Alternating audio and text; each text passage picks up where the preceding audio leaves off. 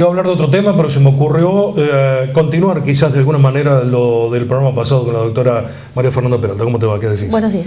Eh, la remetilación. Dijiste de esta, la importancia de toda pareja o toda mujer que quiera tener un hijo, dentro de toda la, cantidad de cosas que tiene que hacer para poder llegar a un, buen fin de desembarazo, quizás estudiarse a nivel eh, del metabolismo pero está la remetilación, que dijiste que en un porcentaje importante los cordobeses o, los que estamos en Córdoba la padecemos, con lo cual, por norma, todos deberíamos hacernos el estudio entonces. Yo, creo que sería importante tenerlo en cuenta a, esa alteración.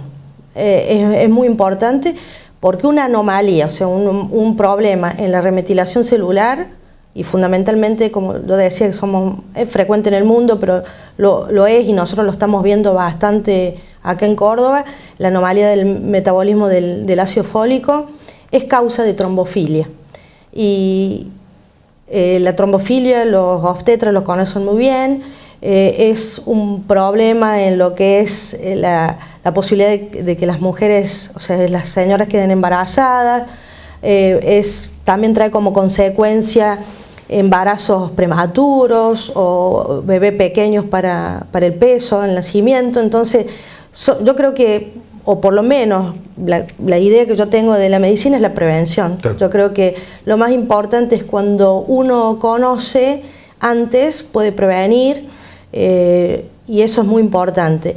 Em, y esto de la remetilación, ¿se da exclusivamente somos portadores, dijiste, no sé en qué porcentaje, si, lo tienen estipulado, pero sea solamente en la problemática de la mujer o al hombre le trae algún problema.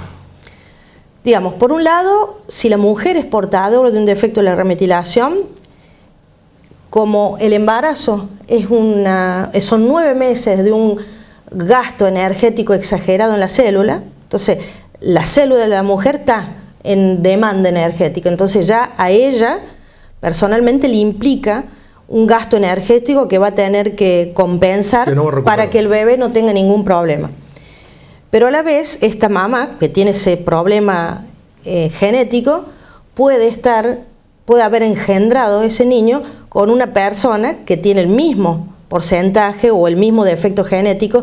Entonces, a veces nos pasa que tenemos niños eh, que tienen problemas al nacimiento porque la mamá era portadora y porque el niño también es portador del mismo defecto. ¿Por qué?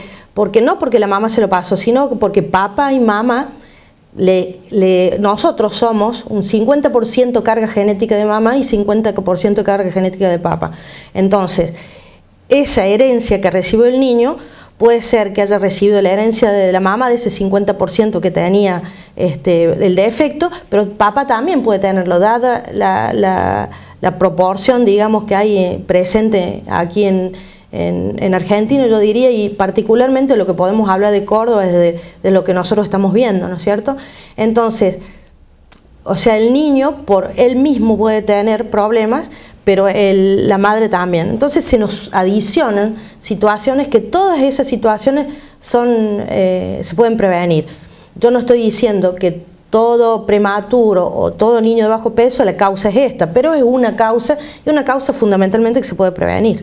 Fernanda, hasta próximos programas. Realmente es un gusto charlar con vos. Gracias.